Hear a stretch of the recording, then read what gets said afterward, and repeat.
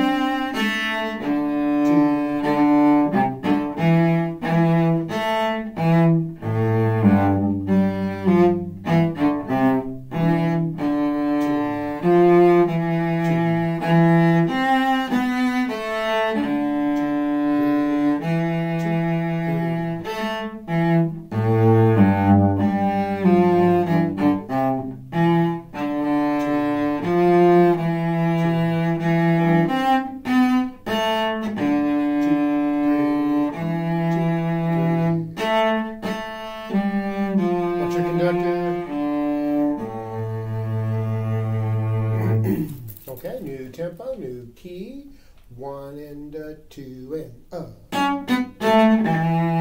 uh.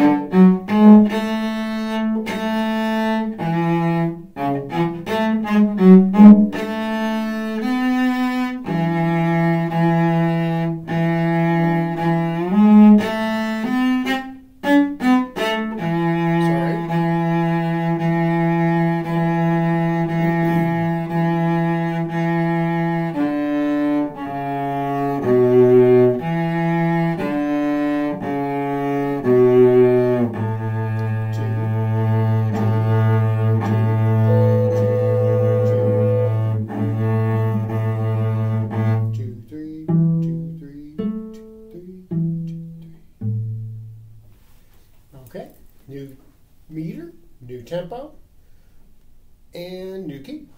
One and two.